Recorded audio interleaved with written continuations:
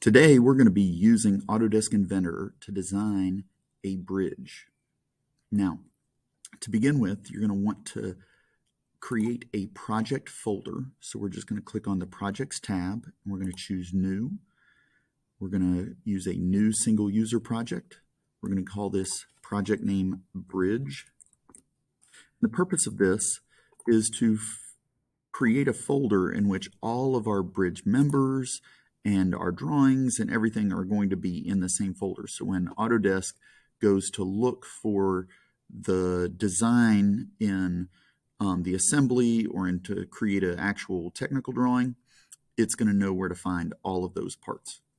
So we've created our bridge project. We've got it selected, and we're going to start with a new part.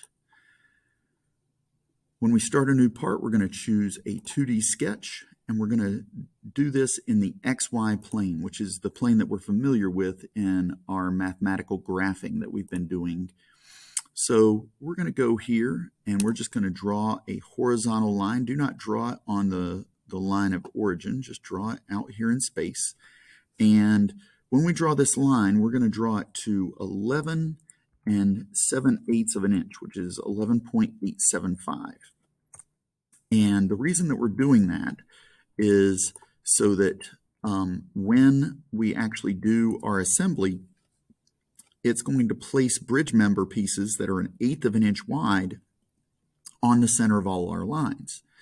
Well, because it's placing those on the center, we've got to add a sixteenth of an inch to both sides of this line to make it the full length of our bridge. And since our bridge needs to be 12 inches long, we're going to actually design it to be 11.875.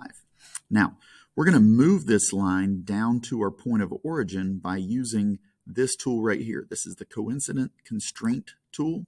And we're going to go and select the midpoint of that line. You'll notice that it highlights in green when we um, have our mouse over the midpoint. So we click on that and then we click over the point of origin and it moves our line down so that we have our midpoint of our line in the point of origin, which is on zero for both the y and the x-axis. And this is going to be helpful when we go to do our um, assemblies and our technical drawings later on. And we're going to use our zoom all tool to move that so we can see the entire line. Now, this bridge has to have its own support system for vehicles to pass underneath it. Well, the vehicles that pass underneath it are three inches tall, so we've got to make our bridge just a little bit taller than that. So we're going to go with three and a quarter inch, which is 3.25. And then we also need to make this 1.875 because our total span of our bridge has to be 8 inches. And if you remember, we've got to consider that that's on the line center and that we're adding a 16th of an inch to both sides of the line, and so we've got to take that into account. So that'll be important when we um, go to plug that in later. Here again, we're going to do the same thing over on this side. I need to slide my drawing over just a little bit. We're going to draw a line down, and it should automatically snap to 3.25 because I have my line drawn over on this side. And then I simply plug in the length of the line for the support piece. And then I'm going to draw it back up to the roadbed of our bridge. Now, um, I'm also going to, at this time, draw a 3 inch by 3 inch box underneath the bridge, which represents the vehicles that are passing underneath it. And the reason I'm doing this is this is just simply going to help me um, get the geometry of our bridge um, correct. So I want to just draw this, and I'm going to delete this later, but it's just showing you um, where our clearance has to be in order to meet the rules of our um, bridge design. So here we are. We have our bridge design. We're going to zoom out just a little bit, and we're going to move this down just a little bit so that we can draw our superstructure. So our superstructure has to enable a vehicle to pass over the top, and that vehicle has a maximum height of 2 inches. So we're going to go about 2.25 inches high. We could go a little bit higher if we wanted to, um, but we're just going to do 2.25. I'm going to take this over to here to where it snaps over that line and basically we're drawing a bridge um, almost in the simplest sense using dot to dot. So once we have our outside geometry done, then we can go back in and figure out how we want to support this. Um, so we might say, hey, I'm going to go here to the midpoint of this line and draw a, a, a diagonal line to where this joint is, and I'm going to connect that. And so because I'm doing a symmetrical bridge, I'm going to go over here and I'm going to find the midpoint of this line. I might need to zoom in to find that. And then when I find that line, there's that midpoint. It turns green when I find that midpoint. And then I find the green dot, which is the center of that joint. I now have um, created an extra support there.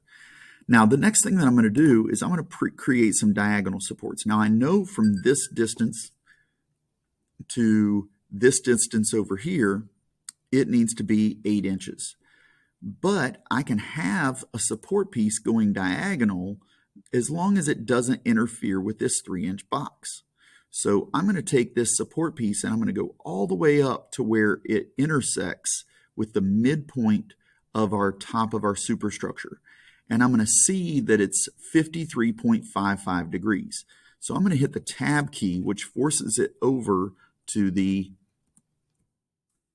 angle that I'm defining. And then when I hit tab again, it allows me to keep that angle and then I simply go until I reach that bridge deck. And where it reaches the bridge deck, I'm going to click on my mouse and then I'm going to click it up here and it should be a perfect straight line going all the way from the base of my bridge all the way up to my superstructure. Then I'm going to do the same thing over here.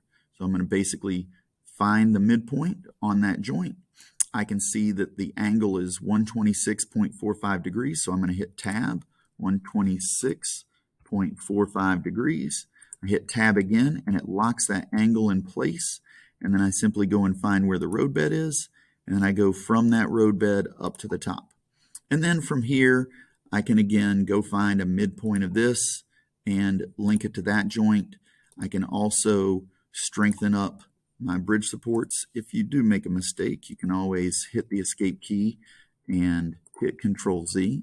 But we're going to go and add some supports um, on the substructure of this bridge. And I'm simply going to try to shortcut this as quick as possible so that we can finish designing it. And then we can get to the assembly component. So we're just going to do a very simple superstructure at the top. It's going to be a very simple um, truss. And then the substructure is relatively simple. I've got to add a little bit more to make it symmetrical. And after I'm done with this, I'm going to hit the escape key.